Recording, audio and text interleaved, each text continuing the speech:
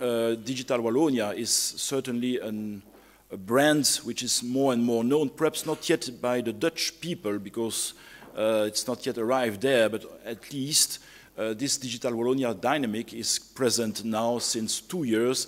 And I want to, in five minutes, which is a, a clear, uh, I would say, challenge, I want in five minutes uh, to recap what is Digital Wallonia and what is about open data in Digital Wallonia. So, first, this uh, name is covering three aspects, a strategy, a platform and a brand. Strategy, clearly, this is the policy of the region government about digital. The intention in end of 2015 was really to define a, a clear, coherent plan around digital in our territory here in Wallonia. And this uh, strategy has been crowdsourced in 2015 and it is put into uh, practice, into action since 2016, so now since two years. And this uh, plan really aims to cover different thematics and these thematics are um, listed here on these slides. Clearly, the core of these thematics is the digital sector, the ICT sector in Wallonia to make it, to make it stronger. Second was it is the digital transformation of the economy, so the use of digital inside the companies in order to be more uh, competitive, in, to be, in order to be more innovative. Third is the public services with a clear, uh, I would say, uh, uh stress on open data. Fourth is the uh, uh, digital territory, smart and connected territory. This is clearly to develop the connectivity high speed across the territory in different sectors.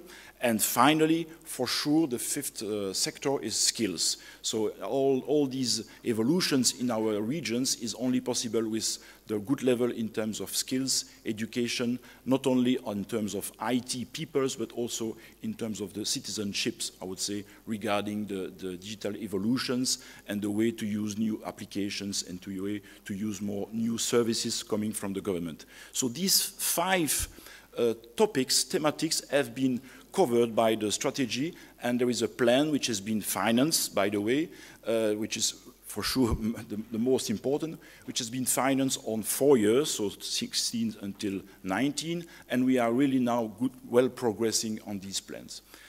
Perhaps to, be, to, to have a focus on open data, you see on the uh, public services, enabling an open government approach. Uh, clearly, open data is now putting on the top of the agenda of the, of the public services. First, the, the, the law installing the PSI uh, uh, uh, initiative of Europe in uh, Wallonia is adopted, will be finalized in the coming weeks in terms of execution. But this is already an important step, which is a little bit, uh, which, was, which, was, longer than expected, but indeed at the end it is now uh, more or less okay. Second, we have now already started a lot of actions with different partners, whatever the, the public services, whatever the, the, the, cities, to explain what is the value, and uh, we just explained this, but to stress what is the value of open data, what is open data, what is data governance, and how to really keep the control on our, our data inside the, the public services. So these activities or these sensibilization plans are now starting and will be extended this year. Third, clearly, is to uh, promote the open data as a, the fuel for business, clearly, and, and we will see some, uh, some uh, uh session today where the open data is used by private partners to boost some businesses uh, inside the region. And at the end, the platform, so the portal, open data portal from Wallonia, which is uh, plugged on the Open Belgium for sure, but this open data platform in Wallonia will be improved until the end of June, together with the, the Brussels region, and uh, we will really have a, a, a more, uh, I would say, attractive and a more user-friendly open data portal in the coming months. So these are the, the, the three or four major elements which are now put into practice put into action in our regions, and I hope that this, uh, at the end of the 2018, so for the next session of Open Belgium in 19, will be, be uh, still better than today in Wallonia. So this is my five minutes, and I hope that we'll, you will enjoy the event today. And if you, have, if you want to have more information about Digital Wallonia and how we are progressing in our policy, indeed there is a stand, a booth just uh, above. Thank you and have a good session.